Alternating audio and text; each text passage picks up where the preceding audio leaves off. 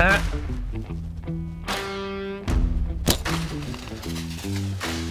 This deer is almost a decade old, and that is what makes this such a special evening for me.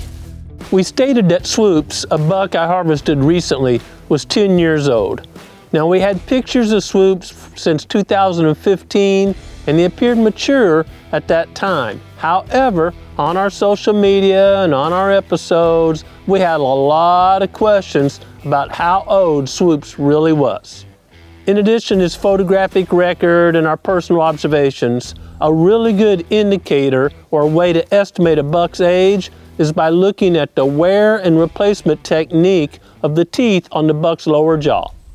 Knowing this, I was excited for Pete, my buddy and local taxidermist, to return Swoop's head, including that lower jaw, have it all cleaned up so I could really get a good look at those teeth.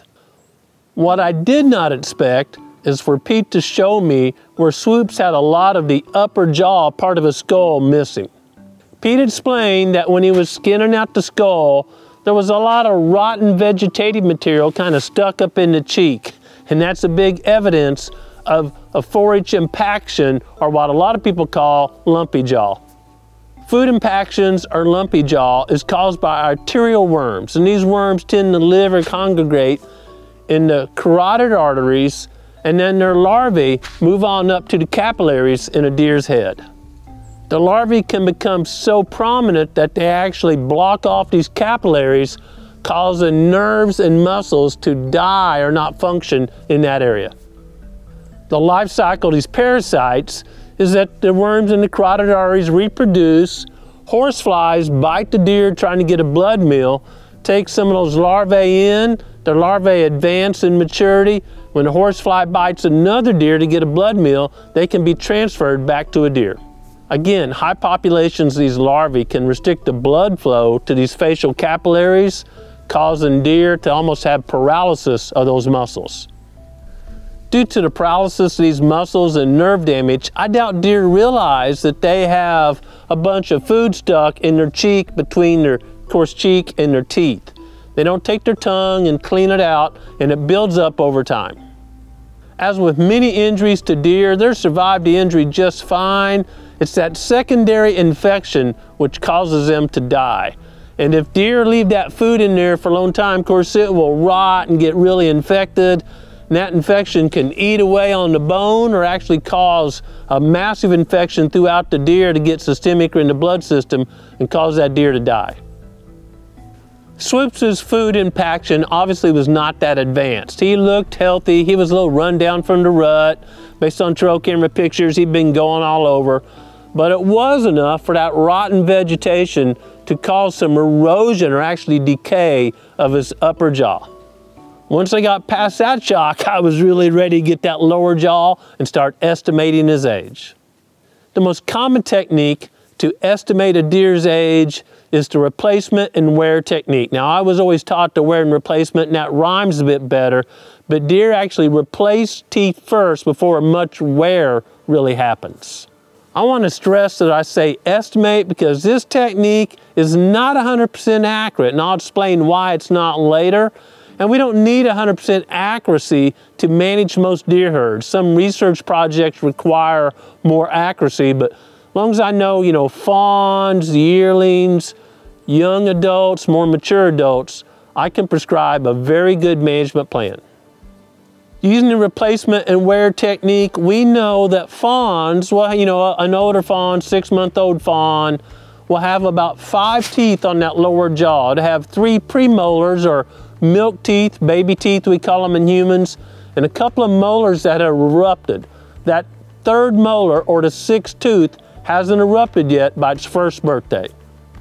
By the deer's second hunting season, the first hunting season was when it was a fawn, so a year and a half old deer, an 18 month old deer, will have all six, three premolars and three molars on that lower jaw. While those molars are coming in, there's another event happening.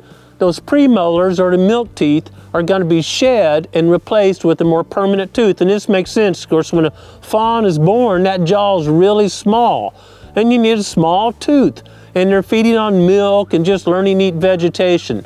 But as that deer matures, that jaw is actually getting bigger and you need a bigger tooth. It's easier to produce another tooth apparently than for that tooth to expand. It's easy to tell when all those premolars have been replaced because the third premolar, and we're always counting from the mouth back towards the throat, so the third one back, it will shed out and that milk tooth will have three cusps. But It'll be one tooth with three ridges or three little mountains on it, and it's replaced with that adult premolar that only has two cusps.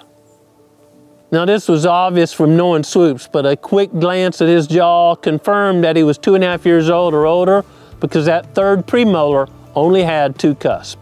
Growing Deer is brought to you by Bass Pro Shops and Cabela's. Also by Reconyx, Green Cover Food Plots, Winchester, Lacrosse Footwear, Fleet Outdoor Apparel, Morrell Targets, RTP Outdoors, Fourth Arrow, HuntStand, Scorpion Venom Archery, Case IH Tractors, Burris Optics, G5 Broadheads, Prime Bows, and Redneck Hunting Blinds. The next part of the replacement, the replacement's over now, the wear technique is based on a really simple principle. And I'm going to illustrate it by talking about a chocolate ice cream cone. Don't get this backwards. A chocolate cone dipped in vanilla.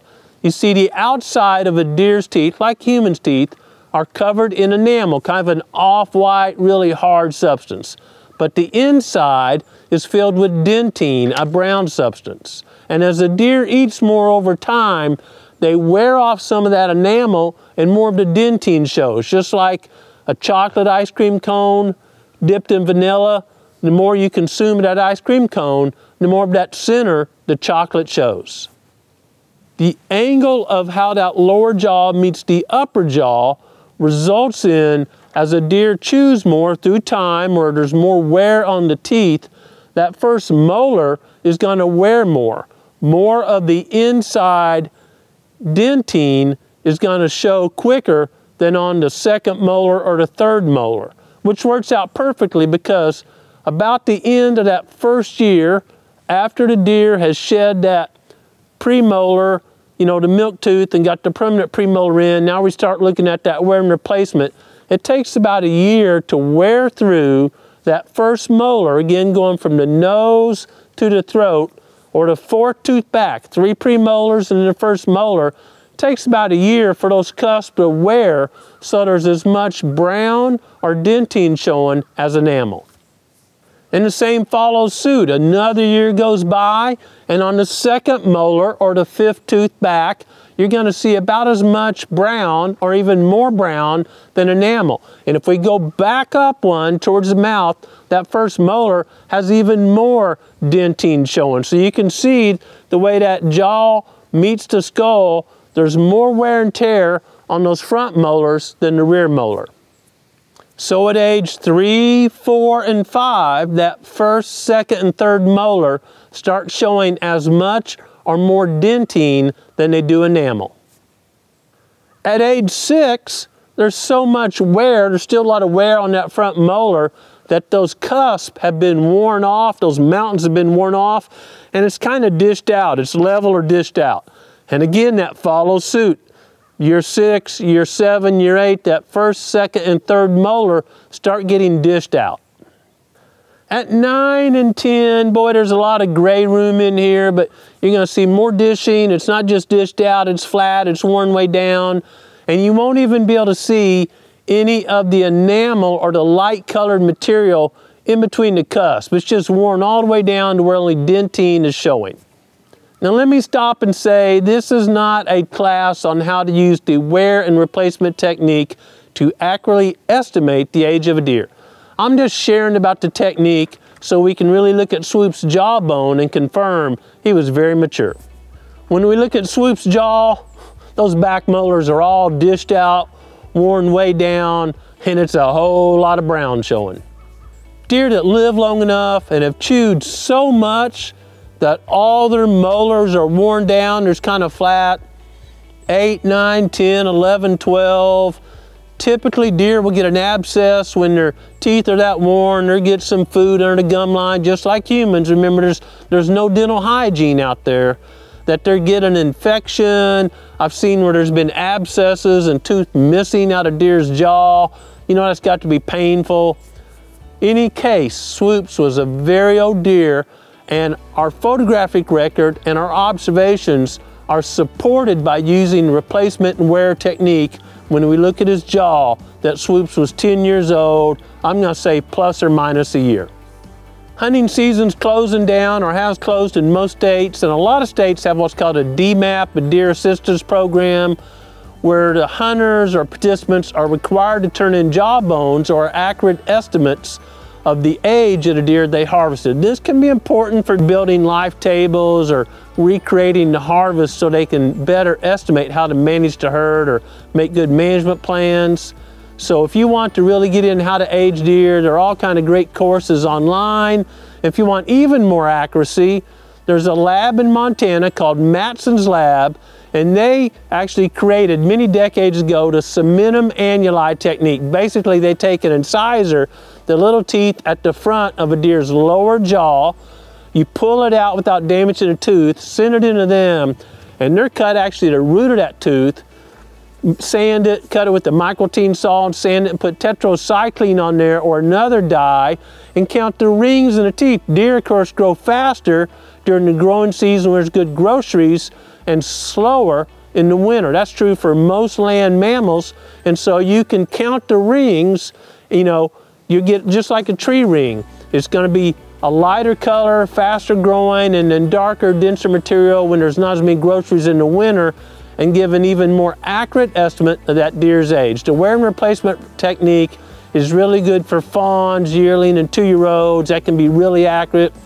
Once you start getting a three, four, five, six, it's considered, and I agree with, that that cementum annuli, counting the rings, is more accurate to estimate the age of older deer. I don't believe cementum annuli is necessary unless you're doing a detailed research project, but it's really cool to have that data.